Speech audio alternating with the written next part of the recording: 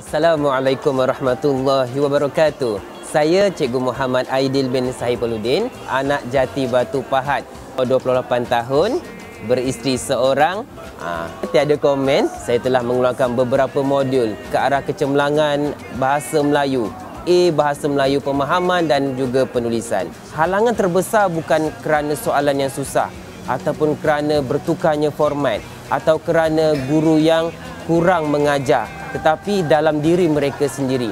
Mereka yang mempunyai sikap yang sangat sangat ingin berjaya saja boleh melalui segala halangan.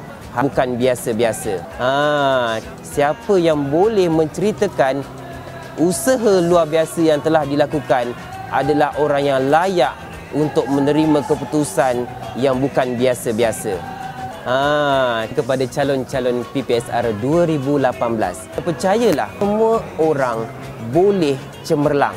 Baik dari segi sahsiah, dari segi kurikulum, baik sukan, persatuan atau kelab dan juga pembelajaran iaitu akademik.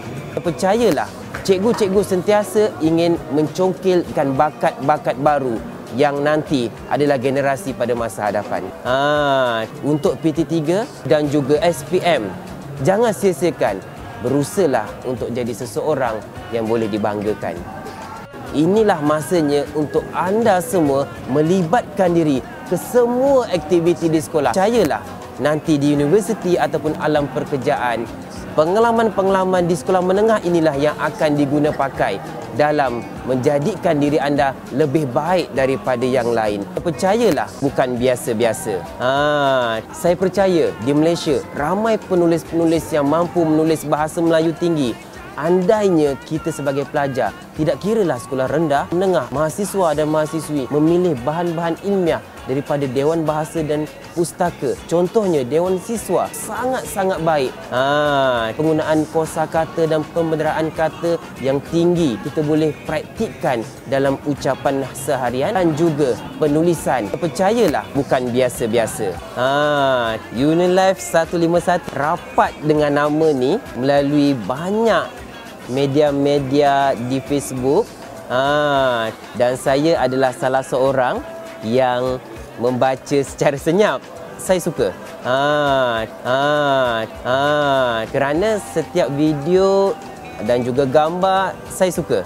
Cara pengolahan Unilife 151 membantu masyarakat umpamanya walaupun di sekeliling kita ramai yang merebut peluang tetapi Unilife 151 yang mencipta peluang tersebut. Saya percaya ada lagi aktiviti-aktiviti yang ingin disampaikan untuk masyarakat oleh Unilife 151. Anda semua adalah calon-calon yang bertuah, bukan biasa-biasa. Semua orang boleh cemerlang. Ha, berusahalah untuk jadi seseorang yang boleh dibanggakan. Siap kerja cikgu, pastikan niat ikhlas ke sekolah, jangan ponteng kelas. Segala ilmu akan diberikan kepada anda semua. Saya mengharapkan dapat mengajar lebih ramai lagi murid untuk membantu mereka ke arah kecemerlangan yang lebih baik dalam bahasa Melayu baik dari segi pertuturan, percakapan harian serta dalam penulisannya di dalam karangan dan juga aktiviti-aktiviti di sekolah serta dalam kemasyarakatan. Ha, boleh terus ke Facebook saya Muhammad Aidil bin Sahih Paludin atau ke page saya Pakar Dari Hati. Bukan biasa-biasa.